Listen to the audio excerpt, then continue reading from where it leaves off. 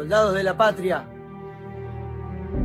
juremos vencer al enemigo interior y exterior. Y la América del Sur será el templo de la independencia y de la libertad.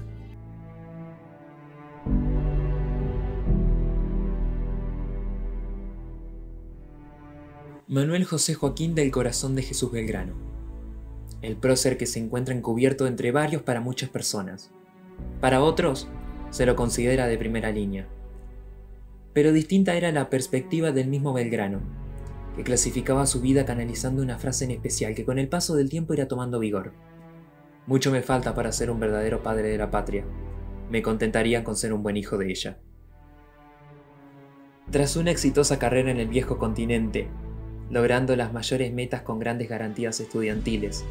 Formándose dentro de la magnífica labor correspondiente a los derechos, decidió hacer uso de sus conocimientos y de los lineamientos que fue adquiriendo para arribar a su tierra natal, en aquel entonces las Provincias Unidas del Río de la Plata, con un puro y único objetivo, implantar una mejora al nuevo país que recién se estaba gestando.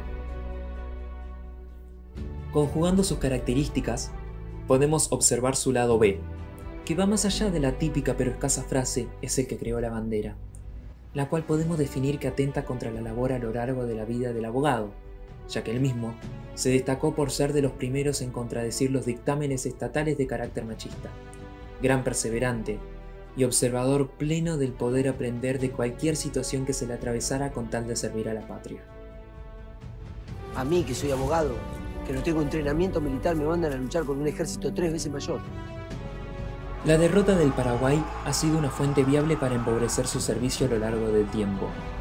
En su defensa, el prócer logró generar los aires independientes de la región y pudiendo realizar una trayectoria excelente en Europa, decidió unirse al consulado de la nueva nación, promoviendo el desarrollo de materia prima local, enfrentando las invasiones inglesas, sumando por último su otorgamiento del poco dinero que disponía para la creación de escuelas por parte del Estado que nunca se conformaron.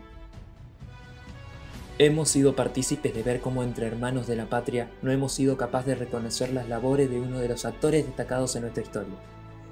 Es momento de focalizar sus favores y pensar en que reconociendo los principios que nos han dejado nuestros héroes para el territorio en el que habitamos, es como debemos dirigir a nuestra gran Argentina, a la sagrada patria para fortalecernos y no dejar en vano los esfuerzos de nuestros antepasados, que seguramente se enorgullecerían de volver a ver nuestra nación conformada y unida.